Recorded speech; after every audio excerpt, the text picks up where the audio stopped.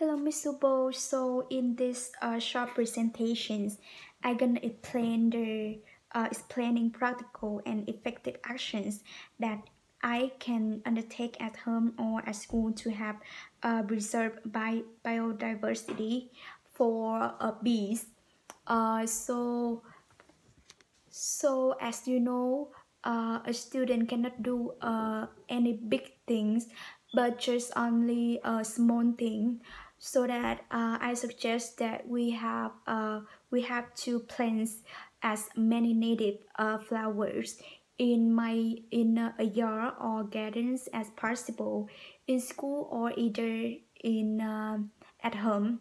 Uh, we gonna make a plan and project the organize organization for uh, for students to work together to plant uh, the the native uh, flower to have uh, a bees um, uh, because uh, native plants are generally uh, easily to grow because they acclimated to that specific climate.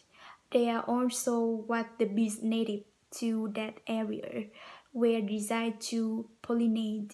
Bees need good nutrition and having a variety of forage that includes native plants in a great way to provide that for them.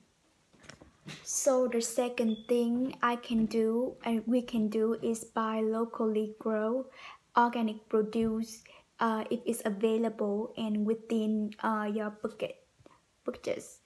Uh, because several studies have suggested that common and widely used uh, pesticides uh, can do serious harm to bee colonized, even killing uh, queen bees. So any reduction in use of uh, pesticides is helpful to bees.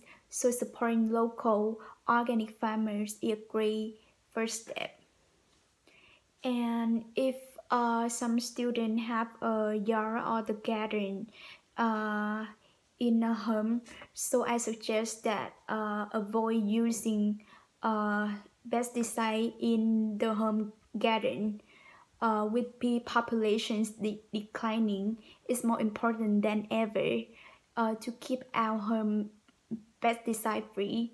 Bees exist in urban environments, so the forage that they find in people's yard is critical uh, to their nutrition.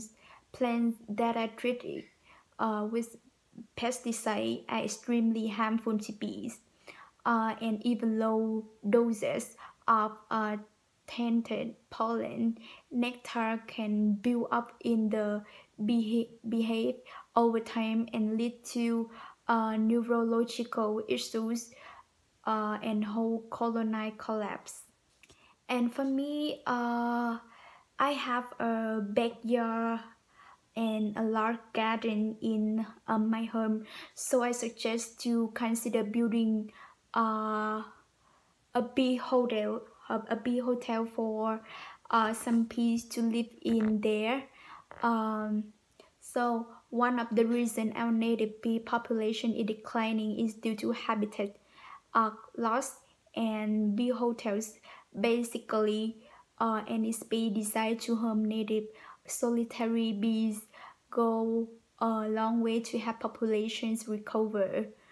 Uh, it can be something as simple as a coffee can fix to the fence with some bread tube in it and or a more elaborate setup with bricks uh, locks uh, with a hole grill into them with tubes and lot of nooks and crannies so as many people knows that uh, the honeybee is really good to our health but uh, if you eat honey buy from local beekeepers when possible.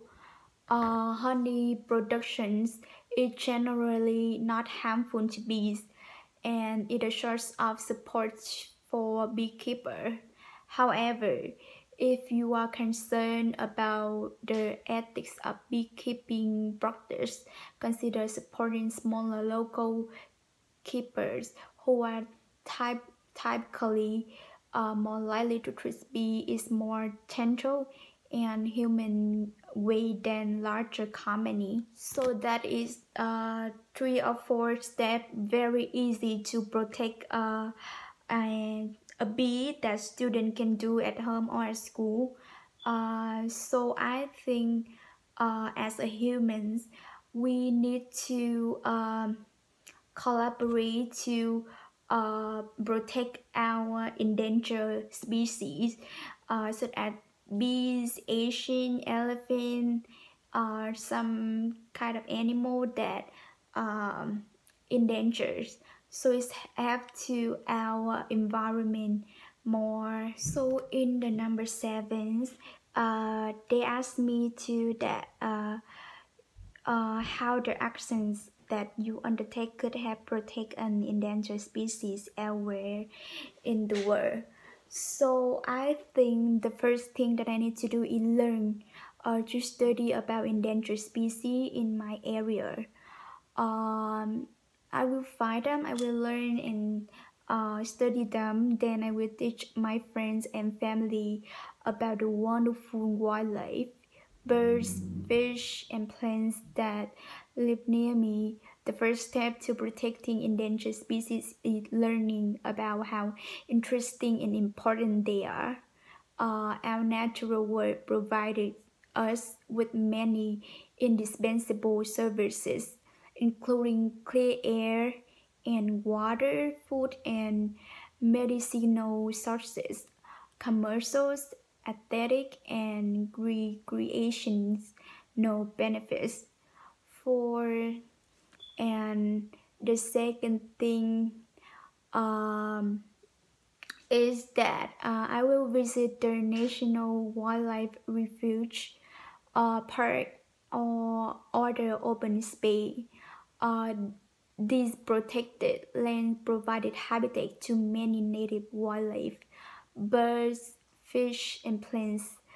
Uh, so scientists tell us the best way to protect endangered species is to protect the places where they live, uh, get involved by volunteering at uh, a local natural center or wildlife refuge, and go wildlife or bird watching is nearby nearby parks, wildlife uh, related recreation creates millions of jobs and support local business. And the next thing that I can do is make my home wild wildlife friendly.